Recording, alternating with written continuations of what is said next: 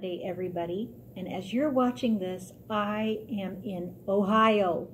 I'm with my daughter. I'm helping her move to seminary. So I'm not at the church in Columbus, Nebraska today. I am somewhere in Ohio, whether we're still driving right now or not, I don't know, or whether we actually made it to Dayton. But uh, I'm not in Nebraska today. And I hope the weather's better than it looked like it was going to be for the weekend, so we'll see.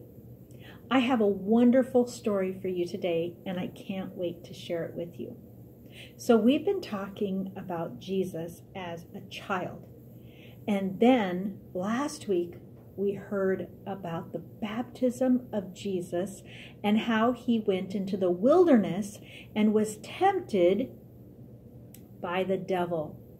So, he hadn't eaten for 40 days and then the devil comes and tempts him with food and power and with the opportunity to be with the devil. And Jesus showed us that if we focus on God, we can avoid temptation. Well, now Jesus has left the wilderness and now he's ready to call his disciples to come help him. So one day Jesus went to the Sea of Galilee and he was teaching and preaching, and there were so many people that Jesus was getting pressed upon by so many people. There were people all over the place. And it was pushing him towards the edge. And there was a boat there. And Jesus asked the owner of the boat, who was Simon, if he could get in the boat. And so Simon let Jesus get into his boat, and they went off a little ways from shore. And Jesus continued to preach. Now, all the people were gathered around and they heard what Jesus had to say.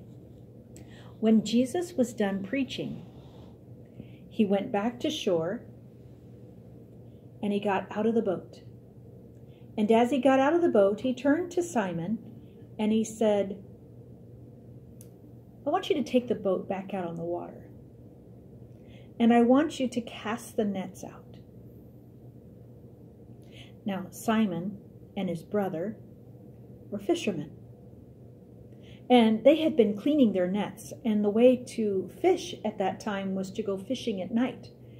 Because when it was warm out, the fish would sink. But at night, they'd come to the surface to eat.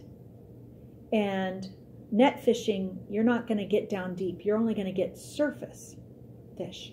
So they had to wait till the night when it was cool, when the fish would come to the surface, and they'd throw out their nets and they'd catch fish.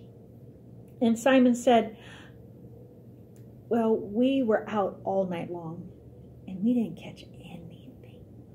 We didn't catch anything, not a single fish. But because you say so. I will take our boat out and I'll throw out the net. And so Simon and his brother, they went out into the sea and they threw their nets overboard. And there were so many fish that the nets started to break.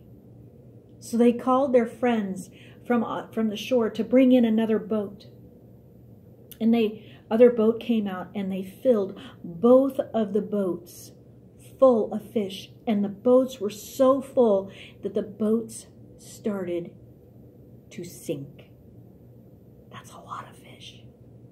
When they got to shore, Simon Peter came to Jesus and said,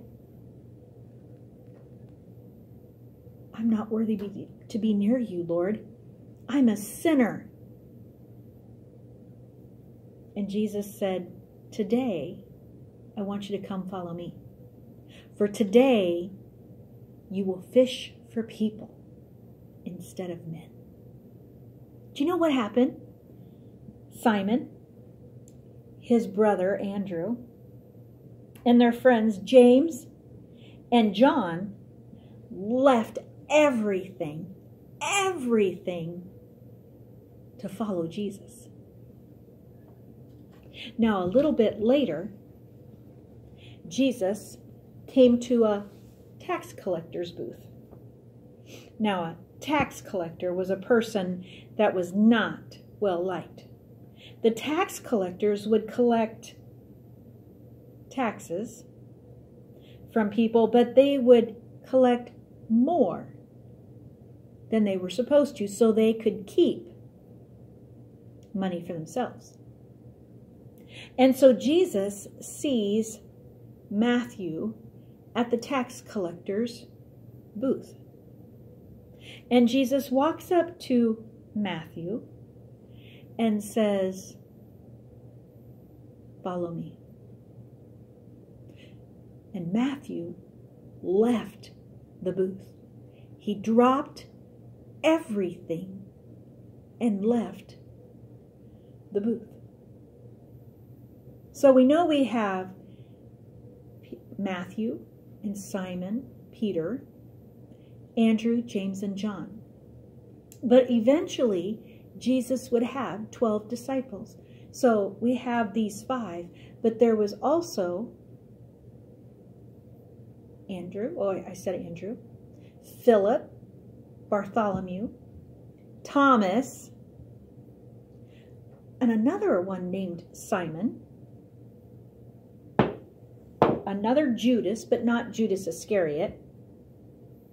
There was another Judas, and that was Judas Iscariot, and another James.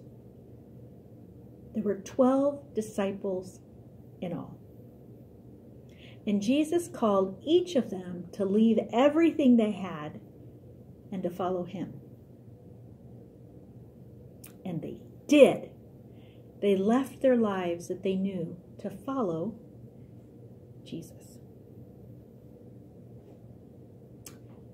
Makes me wonder how hard it would be to leave your family, to leave your job, to not know where you were going to eat or where you were going to sleep or what you were going to wear from day to day, just so you could follow Jesus. I wonder what it was like to see Jesus out there on the water, to see that great haul of fish come in and to feel the boat start to sink. I bet they were afraid at what just happened, but amazed also. These men, they had to have really loved Jesus.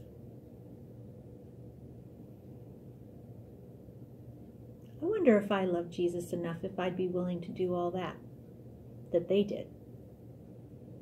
How about you? Amen. Bye all.